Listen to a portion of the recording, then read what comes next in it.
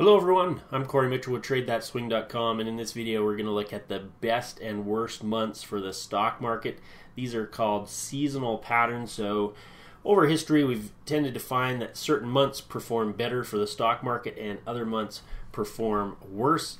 If you want to find this data, and it is updated each year based on the information we received in the prior year, you can go to TradeThatSwing.com stocks and at the bottom there is monthly stock performance and you can find all the latest updated information. So, this is a brief summary of the best and worst months. In the up months and weak months, not all of them are listed because some are kind of right on the cusp of whether they're good months or bad months.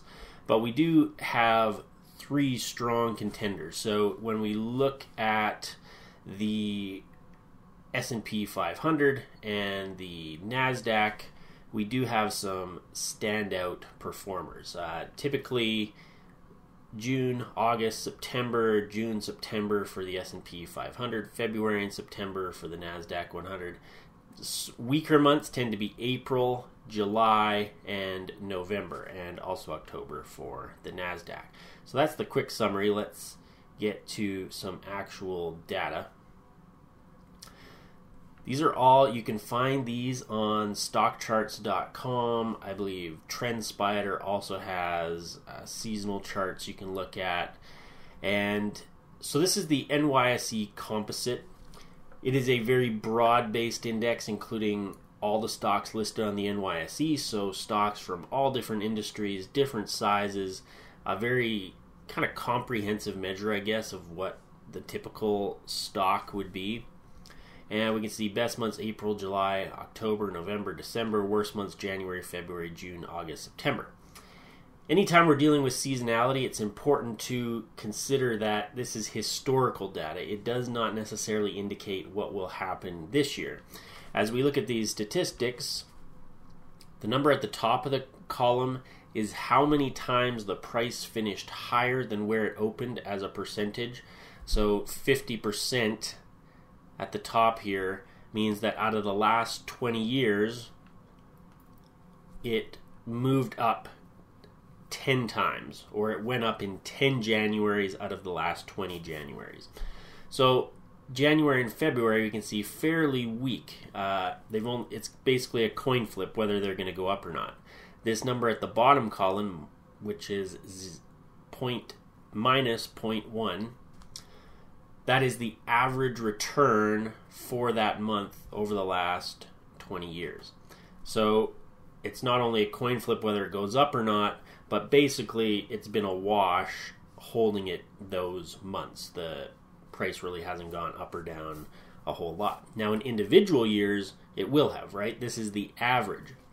So in some years, January might have been down 10%, another year it might have been up 10%, but on average, it has been pretty flat through January and February, and only going up about half the time. As we get into March and April, we tend to see a little bit more of a push to the upside. March, just a little bit. Average profit or the average increase over the last 20 years is 0.5%. So still pretty low and just a little bit better than a coin flip. We've moved up 11 years out of 20 for a 55% win rate, we'll call it. April, average gain 2%. So this is one of the stronger months of the year. You can see it's moved up 16 times over the last 20 years, 80%, for an average gain of 2%. May might have been uh, one bad year in there or something that brought this average down. As you can see, still a pretty high win rate in the sense that 14 years of the last 20 or 70% of the Mays have gone up over the last 20 years, but slightly negative. Average June, one of the worst months of the year, below 50% win rate and an average loss. July, again, one of the stronger months of the year at 75% win rate and a 1.8% average gain. August, a little bit weaker again for the NYSE Composite. We'll look at some other indexes as well. Uh, and then starts to escalate a little bit into the end of the year. So we have August, September tend to be a little bit weaker. Low win rate, typically on the losing side of or tending to give back a little bit of profits during those months. Then October increases 60% win rate, 0.6% average gain, and November and December both at 70% win rate. 14 years out of the last 20, they've moved higher. 1.9% average gain for November, 1.2% for December. You can quickly look at the last 10 years. Pretty much a similar story. We have early in the year tending to be a little bit weak. Then we have these moves up in April, July also strong. Tend to have this lull during August, September area, and then a little bit better performance toward the end of the year. Probably more familiar with the S&P 500, so let's quickly go through that one. Over the last uh, 20 years, we have March, April, May, July, October, November, December, all pretty good months. January, June, September tending to be a little bit weaker. January, as we can see, 50% win rate, 0.1% average gain. So again, usually the market doesn't gain much traction. 2024, a different story. January and February both quite strong. So again, seasonality and looking at the best and worst months, it's historical data does not necessarily indicate what will happen in any given year because we're looking at averages. And the average is composed of both prices moving higher and lower. And the, this win rate is also going to continually change over time. So over time, this may increase because we do get more Januaries where the price moves up, and April may decrease because we get fewer, or it may even increase. Uh, so it's always an evolving uh, numbers and statistics. But overall, still January, February a little bit weaker, and we continue to escalate into March and April, tending to be better months. May also fairly strong for the S&P 500. These pretty good win rates here. June a little bit weaker, but still okay. But average average profit is negative 0.1 percent. 75% win rate in July and a 2.4% average gain. So we see, you know, July tending to be a pretty strong month across the S&P and the NYSE composite. August, September, a little bit slower again. 0.1% in August, negative 0.6% in September, and 60% win rate. October is starting to increase a little bit. Still the same win rate. Average gain increases to 1%. 2.5% in November, one of the best months of the year for the S&P 500, and December also decently strong with uh, average gain of 1% over the last 20 years and a 70% win rate. You can check it out on the 10 year as well, and again, a similar type of structure where we see early in the year a little bit weaker, but at least the average gains are positive, escalate into the March, April area. April pretty strong. Uh, July, once again, strong. And then we see that little bit weaker period after that strong period, August, September, a little bit weaker, and then escalating back into the end of the year. December, kind of on the cusp, usually.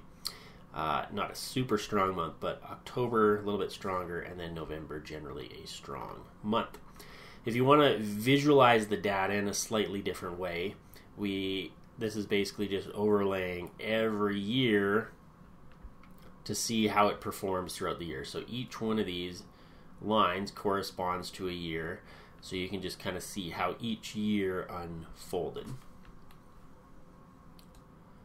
So let's go to the NASDAQ. Best months January, a little bit stronger for the NASDAQ over the last 20 years, whereas with the NYSE Composite and the S&P. January, February a little bit weaker. March also decently strong. S&P and NYSE Composite that was more kind of a month where we started to see some increases. April strong again. May, July, August, October, November, and December all decent. Uh, you can see here December positive average, but just kind of above a coin flip. So again, December is kind of right on that fence of whether it's a really good month or just kind of a mediocre one. Worst months February, June, and September. So fairly similar to what we've seen in the other indexes. Uh, only moved up eight times out of the last 20 years. So a 40% win rate, 0.2% average gain in February. So still hanging into the positive. That's good. Uh, March, April, May, all pretty steady, producing some decent gains 1.9% in March, April, 2% average gain, May, 1.6% average gain, June, slightly weaker, basically a coin toss and pretty much flat on average returns. July, once again, as we've seen with the under index, it seems to be a strong month. 3.5% average gain, 85% win rate. August starting to slow down just a little bit into another one of the worst months of the year tends to be September. And September 50% win rate, average loss of 0.4%. And then we get that bit of an escalation into the end of the year, especially October and November. 60% win rate in October, 75% in November, 1.6% average gain, and 2.3% in November. And December, as we mentioned, just kind of on the cusp there of 55% win rate, 0.5% average gain. And over the last 10 years, you know, we, we basically see some similar things. July really strong, September tending to be weaker, October and November fairly strong. These kind of early in the year, middle months, March, April, May, fairly decent, a little bit weaker performance in February. And so that's basically how the market has unfolded over the last 20 years. You could definitely look at more data to paint a bigger picture. How would you use this data? Well, you want to include it in your own plan and you may decide not to use it at all and there'd be that'd be perfectly valid or you may decide to incorporate it and maybe if you're an investor you wait for seasonally weak periods when you add to your long-term positions because you're generally going to be buying on a little bit of a pullback uh, you may also want to buy ahead of really strong periods right? Those July months where the market tends to really move up, maybe we purchase ahead of that. Uh, in terms of swing traders, you could potentially be a little bit more active or take a month off. If you're going to take a month off, maybe take it off during those weak or really flat months, and you could go through that, you know, chart to see where, you know, things tend to be most quiet, and maybe that's, you know, when you take your vacation for the year or something like that and then you want to be active during those months where you tend to see the really big movements. And again, you could look at study things like this uh, chart to see when we tend to have the most action in the market. So that is how the the best and worst months for the stock market, looking at three major indexes. And yeah, happy trading out there.